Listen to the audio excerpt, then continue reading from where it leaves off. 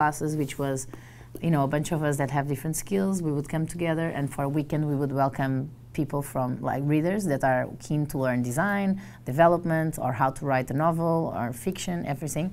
So we would organize this for the, the entire two weekends, and this was like a very nice uh, income pro project for the Guardian. Everybody that wanted to come for a weekend would pay 300 pounds for the weekend. Imagine times 200 people per weekend. We would do this once a month, and I would, I loved doing this because first of all, I would deal with lots of women that wanted to learn the craft, and hopefully we could hire. and secondly, because I love, I love uh, leading sessions for um, training. You know, because I love training myself. I, I love to get training. Um, so I started becoming the, the anchor of these events. I felt very comfortable, even if it was in English, you know, and even if my English was very imperfect people accepted, and it was all about connecting with people more than just being a perfect British accent, you know.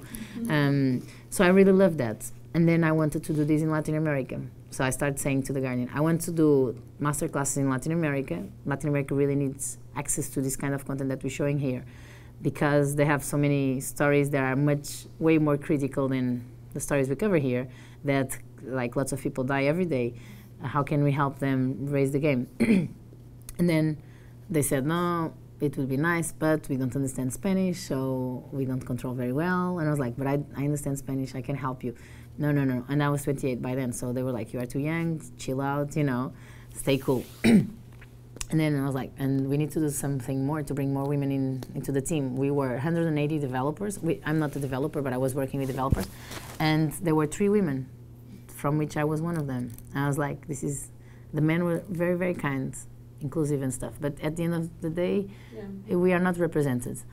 So I was like, we need to, to change this. Like, we are a newspaper. we are talking to the world, and the world is made of 50% men, 50% women across so many different religions and traditions and cultures. Uh, in terms of, of cultures, we had different cultures, especially Indians in London, uh, Africans, uh, and English, of course. Very, very few Latinos. Latins, very, very few maybe one or two. And I consider myself a Latina, despite the fact I'm Portuguese. We are the Latinos of Europe. But then when I came to work at Latin America, I really identify myself with Latin America, M maybe even more than with Portugal, because Portugal is like this mindset of we cannot do it, and Latin Latin America is like we can do it and we have to do it. You know, we have to do it, otherwise we are screwed. You know, it's totally different kind of mentality. so. Um, then my boss was hired to go to New York Times. And the thing, the strategy was like he was going, and then after six months, I was going after to work with him. As soon as, and this is like disclosure, but as soon as he arrived there, the, the, the culture was so different from the Guardian. Guardian was open space, everybody super kind to each other. We tried to work together, you, you know? Well, because well, I've been to London a lot, and people in London are a little more. They're like open, nicer, open, like you know. And in New York, everyone's very like yeah, right. Like work, work, work, work, work. Yeah. So I can imagine it's totally that. Yeah, and especially Europe. That Europe, everything is green friendly, and like you said, like there was windows. Yes. like you know. So yeah. Exactly that. So he got the shock of culture when he got to the New York Times you know, I'm very like loud and Latina, you know, or I want to be, you know. when I was going to the Guardian with flowers and colorful clothes and everybody like, like uh, doing the thing, that, but they accepted. In New York, it's like you say, people are like ta ta ta workaholics. They don't look to the sides. They work in their silos and they look at you like this, you know. In the Guardian, people work barefoot and like people are, you know, very very relaxed, very relaxed culture. So he did not, not enjoy the culture in New York Times, and he said, and I came to visit him in his second day. He's like, Mariana, we go out, you know, there's big, big uh, elevators. We go on the elevators. You want to shut up. You don't gesticulate, and you don't open your mouth. Like, just behave, because you can put you can put me in trouble. Here is not the Guardian. I was like, oh my god. So I arrived there. I had to sit in a place like this, not move my head a lot. Like, he made me feel like don't be yourself at all. And then I looked at him, and he was stressed and tense, and feeling judgment from everywhere. And I was like, wow, this is so and cool. And he was like, yeah, I hate this. I'm so unhappy here. I don't feel any collaborative spirits. I feel like everybody's competing against each other and I'm an enemy to, to, to be killed by, by my colleagues. Like, it's crazy. And he's like, You're not going to fit in this culture. I was like, Yes, I couldn't. So, right there, I learned I could never, I think I could never learn at, work at the New York Times if I want to be happy and not have tension in my shoulders, you know? So the plan was aborted. And he was like, mm-hmm. yeah, I need, now I want to be here one or two years because of my visa. I'm applying for the green card. and but this is not cool. And then along the time, we kept in contact a lot, and he was just so unhappy, so unhappy. Like, he couldn't do the things he was doing. Like, basically, at the Guardian, he was a leader. When he got to the New York Times, he was one more. And of course, he wanted to be a leader, but he didn't mind to be one more and then get to the leadership by, because he deserves it. But he saw no space. All the doors were closed to him, you know? Like, no way you're to move from here. So he's like, oh, this is really not cool. So he had a bit of a depression actually. And you know, I was at the Guardian without my boss. So I lack I lack the leadership and, and the guidance. He was the visionary and he was guiding us. And all my team was feeling the same. And then all of a sudden I applied to become the leader of my team. And I was 29 then, and I was Portuguese, and I was a girl. And then I applied, and in the Guardian there is this rule that if you apply for internal jobs, you are you are forced to have a, at least an interview to see, even to say you're not qualifying, mm-hmm. even that. But it's like an, a rule. so back then I was really, really, really depressed that my boss left, and then my father passed away in the same around the same time. So I was really sad, and I was like, I, then I was living at the Guardian. You know, I actually had a boyfriend at home, but I didn't even want wanted to be with him. You know, I just wanted to forget about everything because I lost I lost the two leaders of my life, which was my father and my and my boss well, my boss I didn't lose, but he was not there to guide me anymore. And then I applied for this job, and immediately, two hours after I applied, I got this email saying, "You don't qualify. You're not. You're not going to take this job." I was like, "What?" And I, I, I forwarded that to HR and said, "What? There is the rule of the Guardian that says I am granted an interview. Why am I given two hours immediately after I applied that I'm not even going to get an interview?" And I tried to like do a process about it, because right now I was ready to fight that fight because what is wrong with me, you know? what's the system uh, blocked here. So I found a little bit of a corruption there. I don't know. I couldn't explain how and why and who. So I brought that to HR. Not many people took very much care of it. And then my boss, which at the time, it's the same CTO now at the Guardian Codes, uh, Tanya Cordrey, and she's a woman. And I was like, why? You should understand me. Like, why don't I get the interview? She's like, you don't qualify. It's just like a waste of time. I was like, what? Really?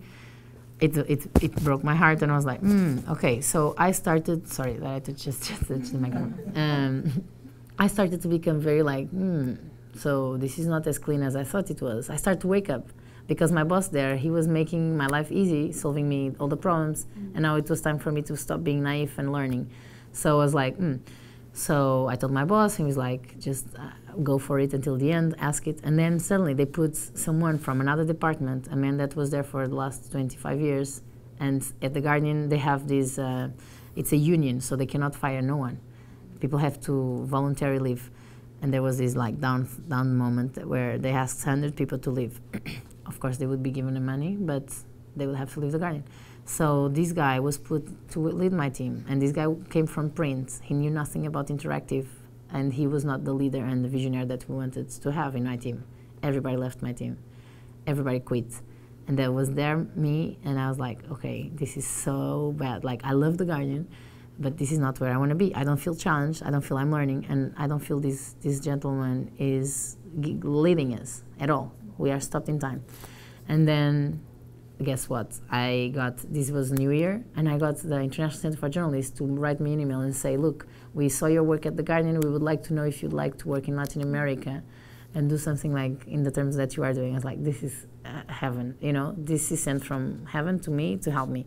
And I was like, you know what? I'm, so I took one entire day. It was vacation for Christmas vacation. I, I wrote an entire page with my own.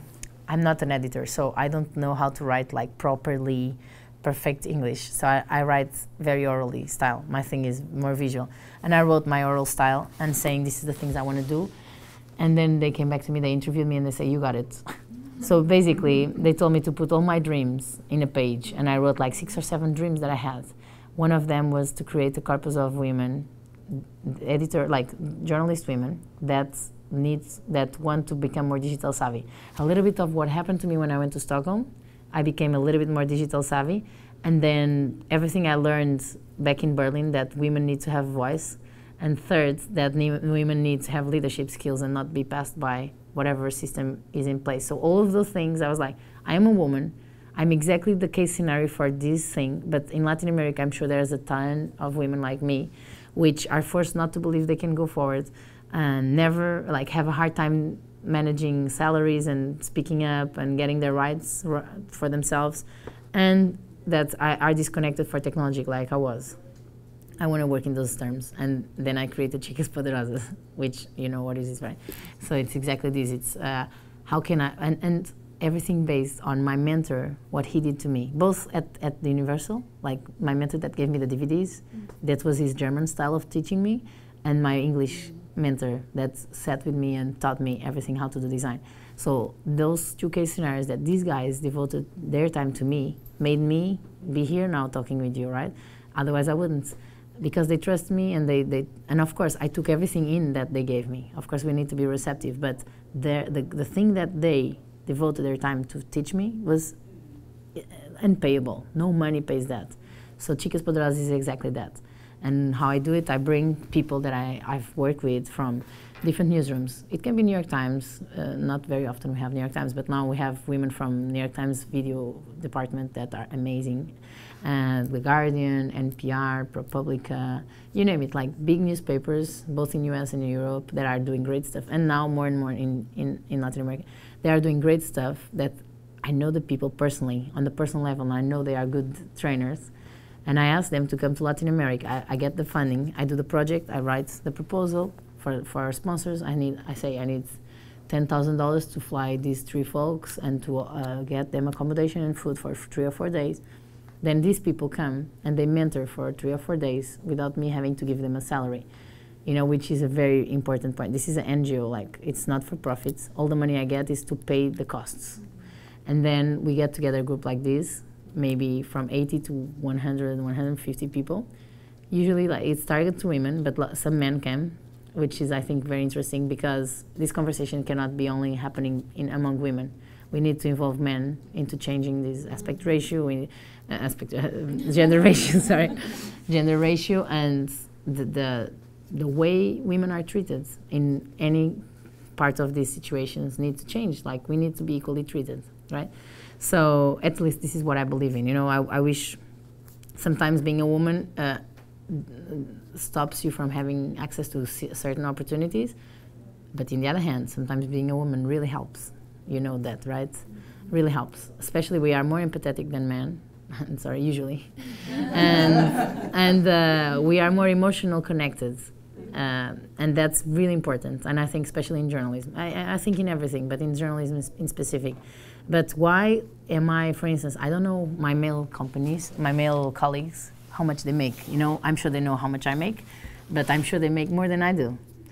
Not there, I, I care for that. If I do the same, I want to be paid the same. Not because I have boobies, not very big, but I have boobies, that it makes a difference. You know, like it, it needs to not be a, a difference making if it's all about skills, all about uh, how, what you bring to the company, you should not be get le get less paid because by assumption, women are less what less professional or less capable or what, you know.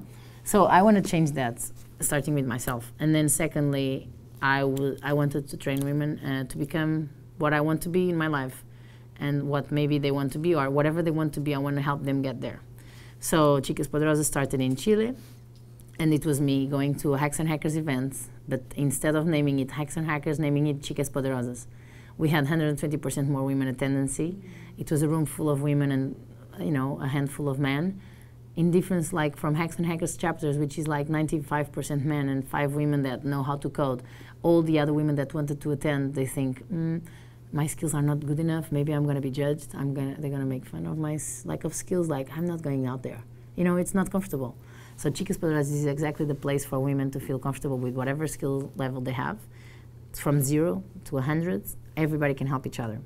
So we do trainings like we bring these mentors from, for instance, I remember now NPR. We have Brian Boyer and Kainaz, which are leaders of the visuals team, and they come and they say how they did, for instance, this project called the Planet Money, all the steps. So we have designers, developers, journalists, editors, and then people thinking how to tell the story, putting always the user in first place. So all of these are insights that are really, really meaningful that, okay, you can Google and learn some of this, but like in person, it makes so much difference. Then after they talk, they come sit with you in the table, and we have a project that we all want to do together, and they are there working with us as part of the team. So you just learn how to do the things the way they did, which is one way that you can copy and replicate, or you can adapt and make your own strategy to do these kind of projects. So it, it has been amazing. Now it's like two and a half years. Today, before coming here, I was just posting it uh, for Peru. It's starting now, like as we speak. Peruvian uh, session of uh, chapter of Chicas is starting, and they're going to train women how to do reporting on elections and trying to track uh, where the bad the bad parts are, bad connections, uh, corruption, everything. So they are on top of things, you know. And so Latin America took me one year. So I was one one year as a fellow of International Center for Journalists, which I recommend you guys to see.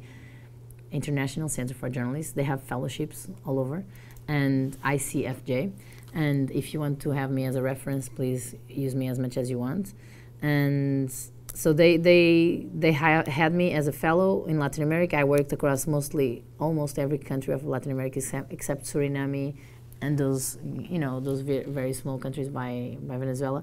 Um, but major like the Ch- Chile, Brazil, Venezu- um, Venezuela, Colombia, Mexico, El Salvador, Nicaragua, Costa Rica, Paraguay, Uruguay.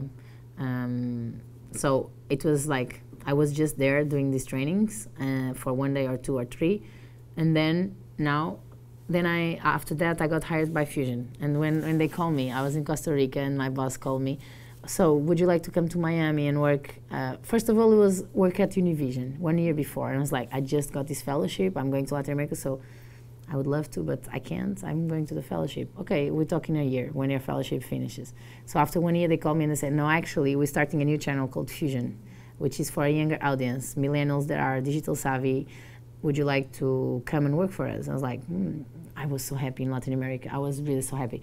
First of all, I felt for the first time I was contributing, like deeply contributing. In the Guardian, I felt like I was no longer contributing a lot. But when I went to Latin America and I was working in different newsrooms, I felt people wanted to hear my opinion. And uh, that was so valuable. I was like, wow, I have so much things that I learned there that I took it for granted. But now that you ask me, I can tell you and explain how we did. And it's valuable for other people, you know?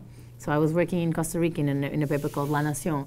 And we just did for the first time the first cross uh, departments projects so we got together in a table like this, like 20 of us from different departments, from business, fashion, culture, na, na, na, environment, come together, journalists, developers, and designers to come up with new ways of storytelling. Then we had the Obama visit there, and we did an interactive about it with video. It was so cool, you know, and they love to work together because you become so much stronger if you have the opportunity to, to work with people with different skills from you that can really empower the entire story.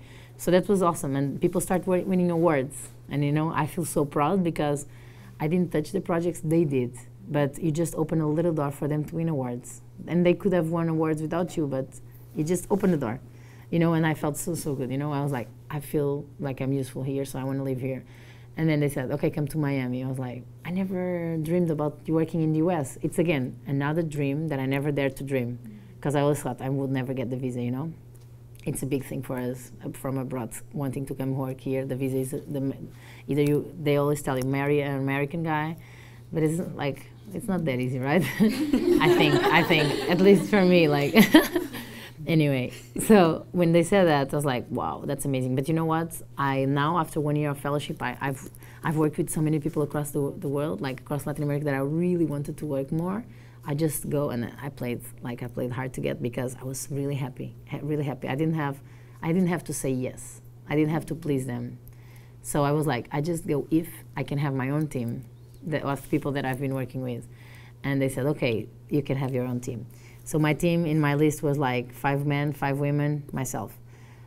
Guess what? They gave me the yes. They would do everything they could to bring my team, which means visas for everybody. I started interviewing the first five women. Every girl told me no because of whatever reason. One, don't want to move to Miami. Two, second, I'm pregnant. Third, she was too young to get the visa because if you are like 21 years old, it's very hard to give you a visa. Another one didn't want to do interactive storytelling, and another one I forgot what.